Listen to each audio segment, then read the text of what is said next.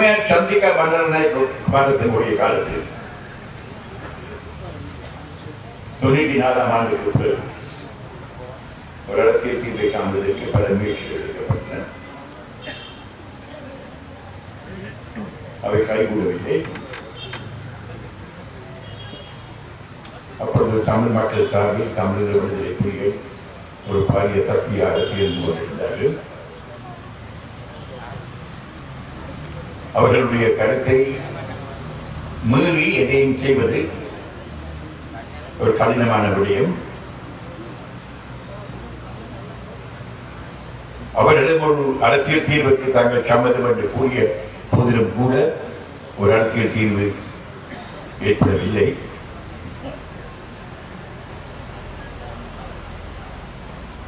ரணில் விக்ரமசிங்க பிரதமராக இருந்த காலத்தில் அம்மையார் சந்திரிகா பண்டாரநாயகி காலத்துக்கு பிறகு ஆஸ்ட்ரோ பிரகடனம் நிறைவேற்றப்பட்டது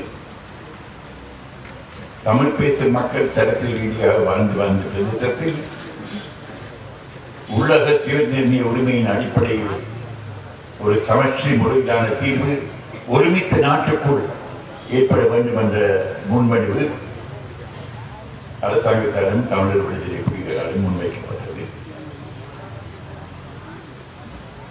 புரிஷவசமாக அதுவும் நிறைவேற்றப்படவில்லை ஆனால் ஒரு கருமம் நடைபெற்றது. பதிமூன்றாவது அரசியல் சாசன திருத்தம் எண்பத்தி ஏழாம் ஆண்டு நிறைவேற்றப்பட்ட பிறகு இந்த நாட்டை ஆட்சி புரிந்த ஒவ்வொரு அரசாங்கமும் ஒவ்வொரு ஜனாதிபதியும் அதை திருத்தவனும் அதை அடிப்படையாக வைத்து அதற்கு மேலதிகமாக அர்த்தபுஷ்டியான அதிகார பயிர்வு ஏற்பட வேண்டும் என்ற அடிப்படையில் பல்வேறு தெரிவு குழுக்களை பல்வேறு நிபுணர் குழுக்களை நியமித்து பல்வேறு அறிக்கைகள் பல்வேறு சிபாரிசுகள் அவர்கள் செய்திருக்கின்றார்கள். ஜனாதிபதி பிரேமதாசுடைய காலத்தில் மங்களமுடி கமிட்டி ஜனாதிபதி சந்திரிகா பண்டாரநாயக்கமானதுடைய காலத்தில் தொண்ணூற்றி ஐந்தாம் ஆண்டு தொண்ணூற்றி ஏழாம் ஆண்டு இரண்டாயிரம் ஆண்டு முன்வைக்கப்பட்ட பிரேரணைகள் திருவாளர் மஹிந்த ராஜபக்சேவுடைய காலத்தில் அவரால் நியமிக்கப்பட்ட ஒரு நிபுணர் குழு செய்தத்தை பார்த்து அவருடைய காலத்தில் கூட பதிமூன்றாவது அரசியல் சாசனம் மீது கட்டி எழுப்பி அடுத்த விஷயான அதிகார பயிர்வு ஏற்படுத்துவதற்கு பல முயற்சிகள் எடுக்கப்பட்டது ஆனால் அவர் ஒருபோதும் அந்த விடயம் சம்பந்தமாக விசுவாசமாக உண்மையாக செயல்படவில்லை விசேஷமாக புலிகள் ராம்பர் இந்தியா தோற்கடிக்கப்பட்ட பிறகு ரெண்டாயிரத்தி ஒன்பதாம் ஆண்டு வைகாசி மாதம் பத்தொன்பதாம் தேதி அந்த கருமத்தை அவர் துப்புரவாக கைது போட்டார் எங்களுடன் சில பேச்சுவார்த்தையில் ஈடுபட்ட நாங்கள் மிகவும் விசுவாசமான முறையில் ஒருமித்த நாட்டுக்குள் உண்மையான விஸ்வாசமான சுயாட்சியுடன் ஒரு தீர்வை காண்பதற்கு நாங்கள் முயற்சித்தோம் ஆனால் அவர்கள் எங்களை ஏமாற்றுவதற்கு கடன் முயற்சி நடைபெற்றது அதற்கு நாங்கள் இடமளிக்கவில்லை. ஒரு தா பாராளுமன்ற தெரி- தெரிவுக்குழுவில் நாங்கள் பங்கெடுப்பதற்கு பலவிதமான முயற்சிகள் மேற்கொள்ளப்பட்டது. அந்த நிலைமையில் தான் தற்போது நாங்கள் இருக்கின்றோம் நாட்டில் ஒரு பாரிய ஆட்சி மாற்றம் ஏற்பட்டிருக்கின்றது மக்களால் மக்களுடைய ஜனநாயக முடிவின் ஊடால் அந்த மாற்றம் ஏற்பட்டிருக்கின்றது மக்களுடைய திறமையை மக்கள் பயன்படுத்தி தங்களுடைய வாக்குரிமையை தாங்கள் விரும்பிய பிரகாரம் பயன்படுத்தியதின் அடிப்படையில் அந்த மாற்றம் ஏற்பட்டிருக்கின்றது. அது ஒரு பாரிய மாற்றம் அந்த மாற்றம் மக்களுடைய ஜன சக்தியை ஏற்று காட்டியிருந்தது அந்த தேர்தல் முடிவை இந்த நாட்டில் உள்ளவர் உள்ளவர்கள் மாற்றம் என்று சர்வதேச சமூகம் கூட மிகவும் உன்னிப்பாக பார்த்துக் கொண்டிருந்தது விசேஷமாக தமிழ் மக்கள் இந்த தேர்தலில் என்ன விதமாக வாக்களிக்க போகிறார்கள் என்பதை சர்வதேச சமூகம் முன்னிப்பாக பார்த்துக் கொண்டிருந்தது. ஏனென்றால் தமிழ் மக்களுடைய பிரதிநிதிகள் ஒரு அரசியல் தீர்வு வகைப்படுவதாக இருந்தால் எங்களுக்கு அது நியாயமான அதிகாரத்தை தர வேண்டும் சுயாட்சியை தர வேண்டும் நமது பொருளாதாரத்தை எமது சமூக தேவைகளை நமது கலாச்சார தேவைகளை எமது அரசியல் தேவைகளை நாங்களே நிறைவேற்றக்கூடிய வகை அந்த தீர்வு அமைய வேண்டும் என்று நாங்கள் உறுதியாக இந்த காலத்தில் காரணத்தின் நிமித்தமும் இவர்கள் மஹிந்த ராஜபக்சே அதற்கு இடமளிக்காத காரணத்தின் நிமித்தமும் தமிழ் மக்கள் என்ன விதமாக வாக்களிக்கப் போகிறார்கள் என்பதை அவர்கள் மிகவும் உன்னிப்பாக பார்த்துக் கொண்டிருந்தார்கள். இந்திய தேர்தல் முடிந்த பிறகு அவருடைய கருத்து என்னவென்றால் எங்களுக்கு தெரியும் தற்போது தமிழ் மக்களுடைய என்ன வேண்டும்?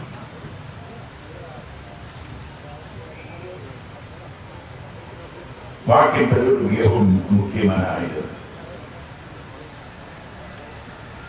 இரண்டாயிரத்தி பன்னிரெண்டாம் ஆண்டு நடைபெற்ற மாகாண சபை தேர்தலில் கிழக்கு மாநிலத்தில் நாங்கள் வெற்றி பெற்றிருக்க வேண்டும்.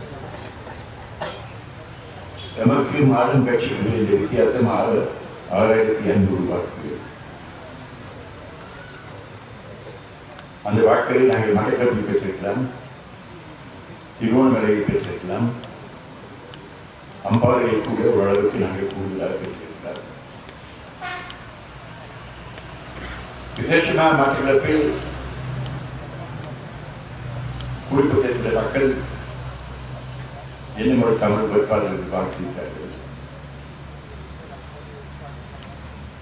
அந்த வாக்குகளை நாங்கள் பெற்றிருந்தால் அந்த தேர்தல் முடிவு வேறு விதமாக அமைந்திருக்கும்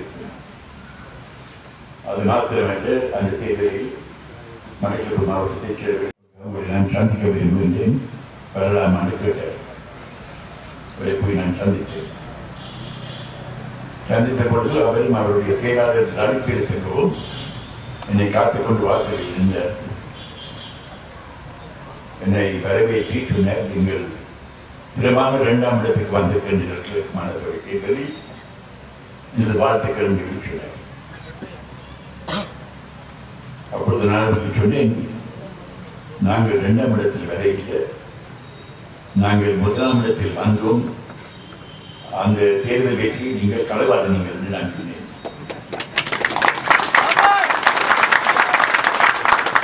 அப்படியான போட்டு கிழிச்சு போட்டு அவருக்கு தெரியும் என்ன நடந்தேன் தற்போதைய ஜனாதிபதிக்கும் தெரியும்.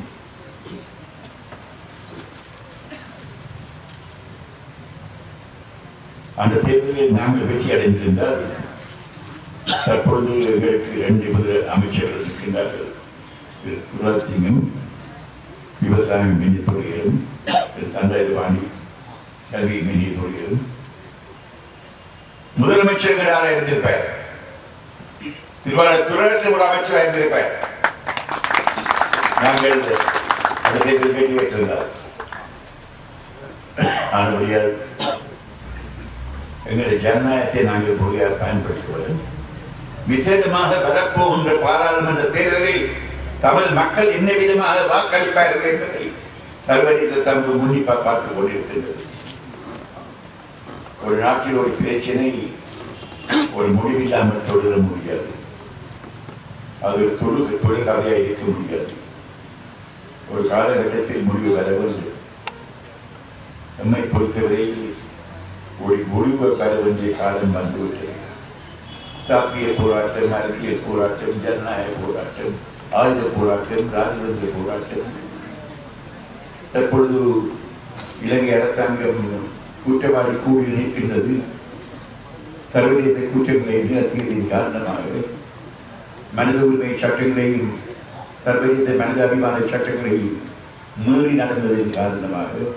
போர்க்கூட்டங்கள் குற்றங்கள் நிகழ்த்தியது என்ற குற்றச்சாட்டின் பேரில் சர்வதேச குற்றவாளி கூட்டு இளைஞர் அரசாங்கம் இருக்கின்றது அது உரியம் சம்பந்தமாக ஒரு சர்வதேச விசாரணை நடைபெற்றிருக்கின்றது அந்த விசாரணையுடைய அறிக்கை பங்கு மாதம் வெளியிட்டிருக்க வேண்டும் தற்காலிகமாக இளைஞர் அரசாங்கம் எழுத்து மூலமான வேண்டுகோளின் அடிப்படையில் சில வாக்குறுதிகளின் அடிப்படையில் அது பின்பற்றப்பட்டிருக்கிறது புரட்டாதி மாதம் வெளிவர வேண்டும் அநேகமாக புரட்டாதி மாதத்துக்கு முன்பதாக இந்த நாட்டில் ஒரு பாராளுமன்ற தேர்தல் நடைபெறும் அந்த பாராளுமன்ற தேர்தல் நடைபெறுகின்ற போது சர்வதேச சமூகம் மிகவும் உன்னிப்பாக பார்த்துக் கொண்டிருக்கும் தமது மக்கள் தங்களுடைய மாவட்டங்களில் வடக்கிலும் கிழக்கிலும் இன்னும் விதமாக வாக்களிக்கின்றார்கள் என்பதை சர்வதேச சமூகம் மிகவும் உன்னிப்பாக பார்த்துக் கொண்டிருக்கிறது. எதற்காக வாக்களிக்க போகின்றார்கள்? தங்களுக்கு ஒரு உறுதியான அரசியல் தீர்வு வேணும் என்ற அடிப்படையில் தமிழ் தேசிய கூட்டமைப்பு எங்களுடன் பேசுகின்ற பொழுது நாங்கள் சென்ற வாரம் அமெரிக்காவுடைய ராஜாங்க அமைச்சர் ஜான் கேரி அவர்கள் நாங்கள் சந்தித்து பேசினோம். நமது மக்களுடைய உடல்நிலை தேவைகள் காணி விடயங்கள் தடுப்பு காவலில் உள்ளவர்கள் காணாமல் போனவர்கள் சம்பந்தமாக பேசினோம். அதற்கு நிர்ணயமாக என்ன விதமான அரசியல் தீர்வு நமக்கு தேவை இந்த நாட்டில் ஒரு நிரந்தரமான நல்லிணக்கம் ஏற்படுவதாக இருந்தால் என்ன விதமான அரசியல் அடிப்படையில் அது ஏற்படலாம் என்பதை பற்றி அவருக்கு நாங்கள் தெளிவாக விளக்கினோம். அப்ப அவர்கள் பார்ப்பார்கள் தமிழ் மக்கள் தங்களுடைய வாக்குகளின் மூலமாக அவ்விதமான ஒரு அரசியல் தீர்வைத்தான் தங்கள் வரும் என்று கூறியிருக்கின்றார்களா? என்று பார்ப்பார்கள். எங்களுடைய கரங்களை பலப்படுத்த வேண்டிய ஒரு கடமை உங்களுக்கு இருக்கின்றது. அதை நீங்கள் செய்ய வேண்டும் அந்த கடமையை நீங்கள் தவறக்கூடாது ஜனாதிபதி மைத்திரிபால சிறிசேனையை பொறுத்தவரையில் எனக்கு ஒரு நம்பிக்கை இருக்கின்றது. அவர் சிங்கள மக்கள் மத்தியில் சென்று உண்மையை பேசுவார் என்று தமிழ் மக்களுக்கு ஒரு நியாயமான அரசியல் தீர்வை நாங்கள் கொடுக்க வேண்டும்.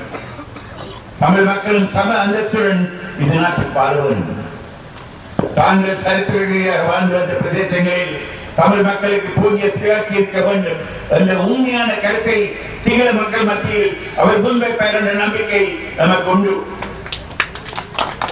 ஆனால் அதை வலியுறுத்துவதற்கு அதை வற்புறுத்துவதற்கு அதை உலகமறிய செய்வதற்கு உங்களுக்கு கிடைத்த ஜனநாயக சந்தர்ப்பத்தை நீங்கள் முழுமையாக பயன்படுத்த வேண்டும் இதுதான் இந்த கூட்டத்தில் உங்களுடன் நான் முன்வைக்க இருக்கின்ற முக்கியமான தாழ்மையான கோரிக்கையை நான் கூறிக்கொள்ள விரும்புகின்றேன்.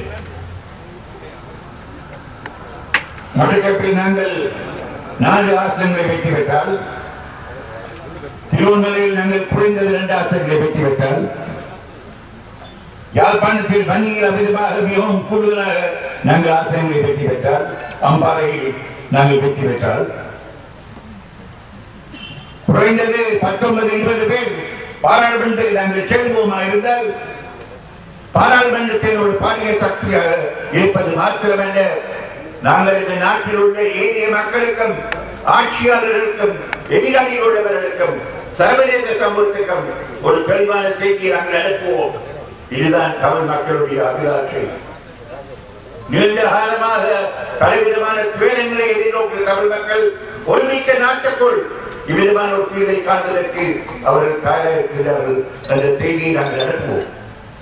அதுபடியால் இந்த கடமையை தவறாமல் உங்களுடைய பணியை சிறப்பாக நிறைவேற்றி அந்த அந்தஸ்தை அந்த பணத்தை எங்களுடைய கலைகளை பலப்படுத்த வேண்டிய கடமை உங்களுக்கு இருக்கின்றது என்று இந்த நேரத்தில் நான் கூறிக்கொள்ள விரும்புகிறேன்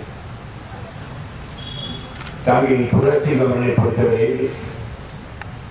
அவருக்கு அர்த்தம் இந்த விழா அழைக்கப்பட்டிருக்கிறது அவர்கள் மிகவும் பக்குவமானவர் மிகவும் நிதானமானவர் அது எங்களுக்கு எல்லோருக்கும் நல்லா தெரியும்